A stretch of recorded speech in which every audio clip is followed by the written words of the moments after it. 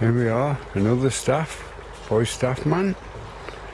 This one's a whippet staff. Carved this for a chap who keeps whippets. His name's Mark.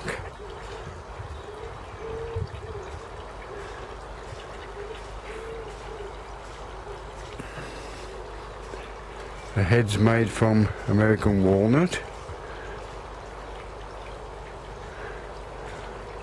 Little oil painting here with him, holding his dog, Rosie.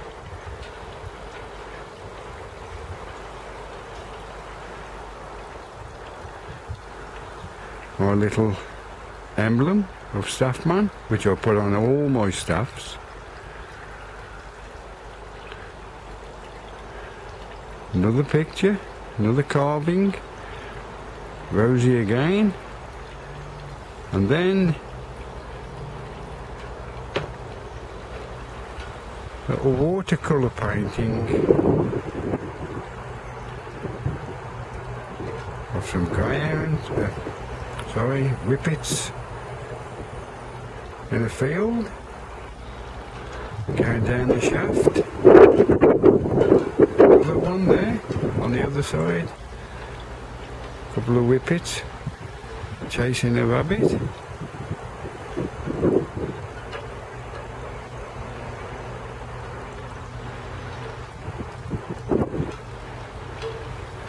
We turn and then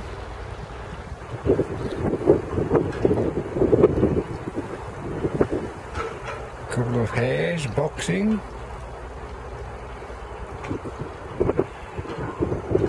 A dog there.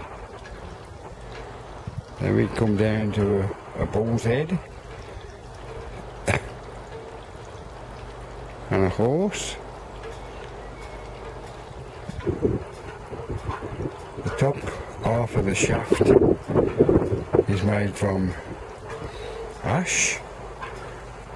In the centre we've got a collar with deer horn. The bottom part of the shaft is nut.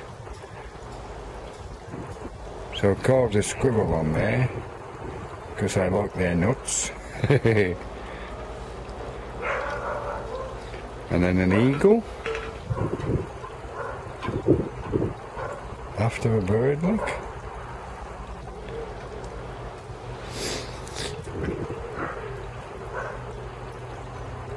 And then I've put a little poem on here. It says, Bless the noble whippet hound, sharp in, sharp in swiftness, sight and sound. Who dares challenge the whippet hound? One knows he is perfection bound. Tricolour, part colour, black mask red, a fearless hunter where air he tread. Then some colouring down the shaft there.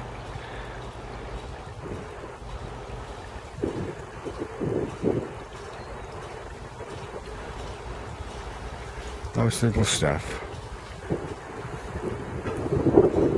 I think he'll be very pleased with this.